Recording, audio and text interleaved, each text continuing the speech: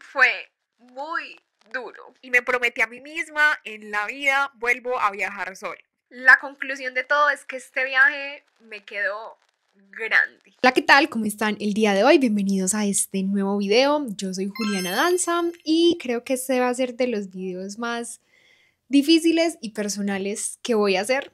Como saben, estuve en un viaje de casi un mes donde estuve en Asia y les quería contar por qué este viaje fue tan difícil, porque siento que no ha sido de mis viajes favoritos y cómo me sentí emocionalmente. Desde que empecé a planear el viaje fue un poquito abrumador porque tenía que pensar en demasiadas cosas, en hoteles, en vuelos, en actividades, entonces creo que no planeé tanto, además que estaba terminando semestre, estaba pasando como por un momento también raro en la vida. Antes de viajar siempre es normal que me dé crisis, me da sustico, es más, acá atrás ustedes ven ese mapa, eh, les voy a mostrar por acá una foto, me tocó escribir en la pared con Sharpie, sí puedo, porque eh, tenía susto. Yo me fui relajada, ni siquiera estaba emocionada, me fui normal, tranquila. Llegué a Ámsterdam todo súper bien. Yo les puse un video de Ámsterdam por aquí también se los voy a dejar. De cada ciudad les he dejado video y resumen,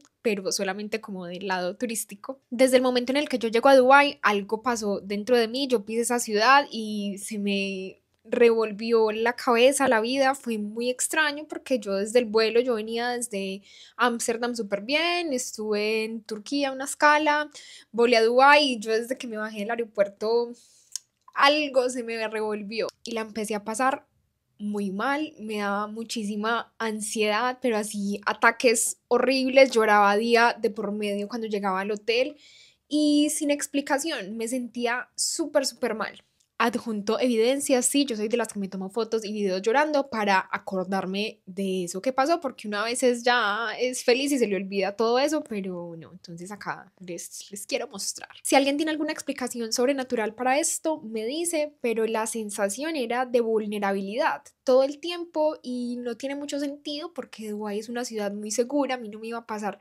absolutamente nada allá, pero me sentía pequeña, me sentía vulnerable. Todo era muy grande y me sobrepasaba pasaba, entonces no estaba encontrando las sensaciones que yo busco cuando viajo. El Burj Khalifa, sí, wow, el edificio más grande del mundo, pero ¿y qué? No tengo con quién compartir esto, entonces no tiene sentido. Me sentí muy sola todo el tiempo, ya es donde yo me cuestionaba. Yo he estado en muchísimos lugares del mundo, he viajado mucho y yo nunca me había sentido así. Ya he estado en Europa varias veces sola y he sido muy feliz, plena. El último viaje a Portugal ese viaje fue maravilloso, me sentía increíble. A Brasil me fui dos semanas completicas sola, no me aburrí casi, me sentía súper bien. Entonces, eh, mi pregunta es, ¿por qué me siento así? Nunca en este viaje de casi un mes sentí un momento de plenitud. Eso es donde uno dice, wow, increíble, me siento tranquila, en paz, feliz, lo hice, lo logré. No, nunca me sentí así. Este viaje lo disfruté mucho, me encantó conocer, explorar, pero momentos donde me haya sentido verdaderamente feliz, muy pocos. Uno de ellos, un día que sí fue muy feliz en Dubai,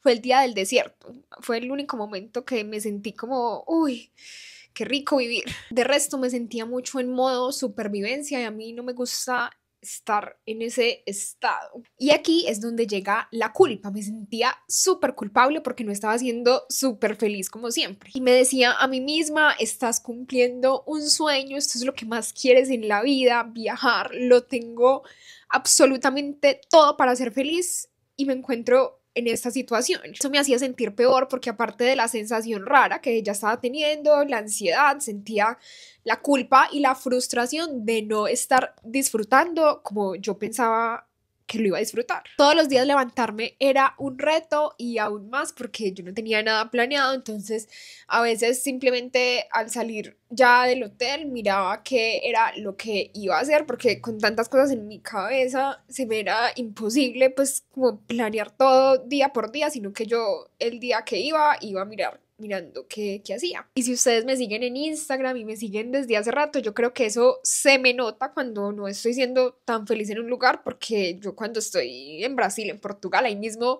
también me cambia el físico, me cambia la manera de hablar, todo.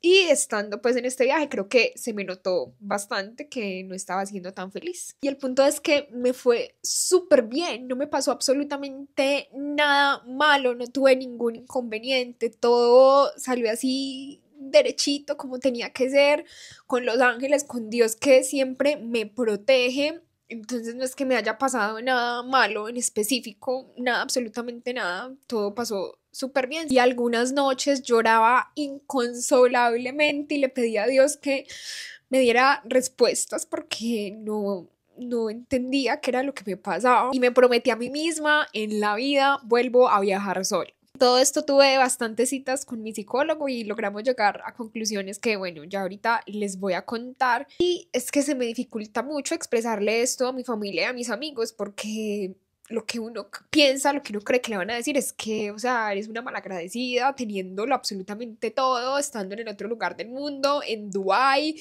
¿cómo vas a estar triste? Y muchas personas, no sé, aquí que me están viendo, se lo podrían preguntar como cómo es posible, pero sí, sí es posible y está bien, pues no pasa nada. Ya llegó el día que me iba de Dubai, iba para el aeropuerto y me pasó algo eh, muy maluco que me puso emocionalmente aún más inestable y es que yo estaba en una pues de las salas VIP, estaba comiendo normal, eh, todavía faltaba una hora para que saliera el vuelo cuando me apareció de que en una de las pantallas yo iba para Manila en Filipinas a hacer una escala, me aparecía disque último llamado para el vuelo y yo así como que, que entonces me tocó salir corriendo, corrí horrible por todo el aeropuerto para llegar a la puerta.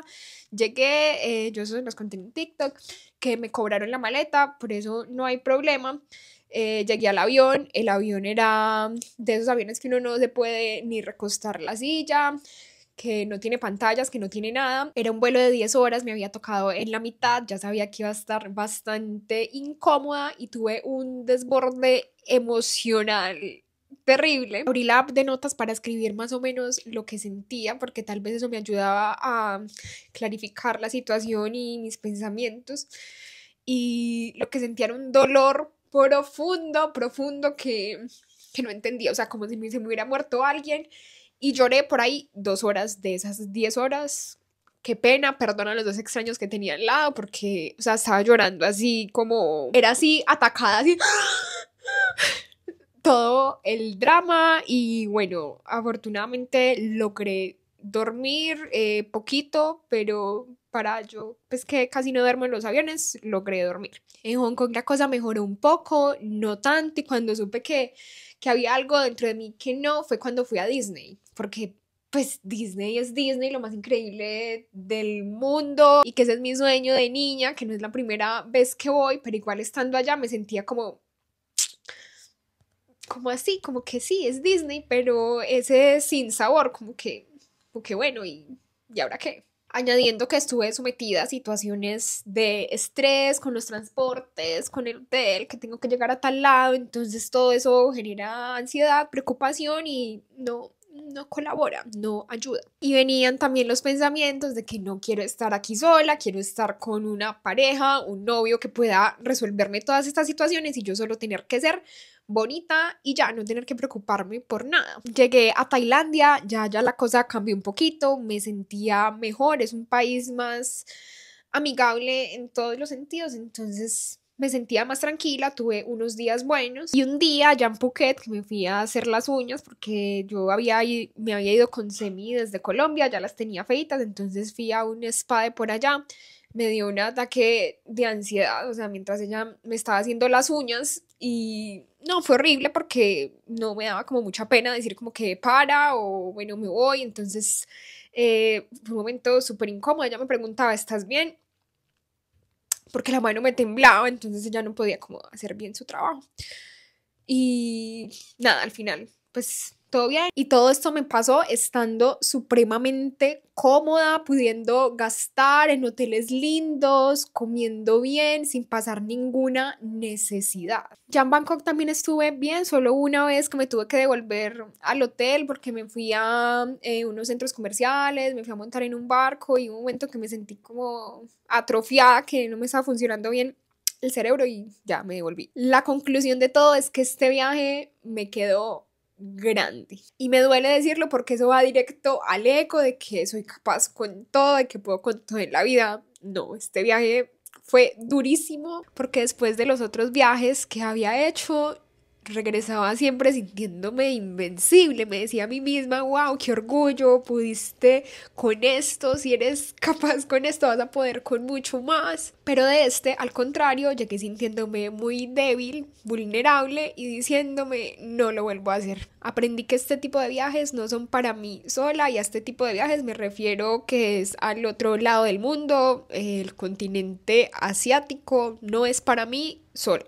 que hay otros lugares que sí son para mí sola, como los que ya he ido anteriormente, que he sido demasiado feliz, pero este no. Y que no tengo la necesidad de cada vez irme más lejos, cada vez irme por más tiempo para demostrarle al mundo o para demostrarme a mí misma que soy valiente, que sí puedo, no, no hay necesidad de ponerme a mí misma en esas circunstancias. Y esto yo ya lo sabía, pero una vez más constato que la vida en compañía es muchísimo mejor. Este viaje acompañada hubiese sido completamente distinto. Este viaje me enfrentó a realidades muy fuertes. Me enfrenté conmigo misma y con mi soledad porque era yo conmigo 24/7 con mis pensamientos luchando con todo eso que me decían que no puedo, que no voy a ser capaz. Y sufrí y vi en carne propia todo lo que significa hacerse cargo de uno mismo en todos los sentidos. Fue como estrellarme contra un muro para entender que hay cosas que simplemente no son para mí. No me arrepiento, todo lo contrario, muchísimo que aprender. Y desde que llegué me siento muy rara, diferente, como si fuera otra persona. La manera de ver el mundo me ha cambiado un montón. Y no es eso de que volví siendo mejor persona transformada. No, simplemente diferente. Estoy muy, muy, muy, muy diferente de cuando me fui. Esta experiencia tiene aún mucho por enseñarme, no quiero desanimarlas a viajar solas, ni mucho menos. Yo seguiré viajando sola, no tan lejos, no a Asia, no a África, seguiré aquí en América, en Europa, mientras vamos encontrando personas en el camino para hacer estos viajes más grandes y más largos y todo lo que les mostré, les dije, las experiencias tan maravillosas que tuve, que les pude mostrar en otros videos, en fotos, no quiere decir que son falsos, eso lo viví, fui feliz por algunos momentos, tuve experiencias muy lindas, a mí me encanta conocer el mundo, entonces simplemente explorar, ver, conocer es una experiencia muy enriquecedora, pero esta es la otra cara de la moneda. Y ustedes saben que me gusta hacer lo más real posible, mostrarles las cosas como son y bueno, así lo viví yo. Espero que les haya gustado este video y nos vemos en el próximo. Gracias por verme.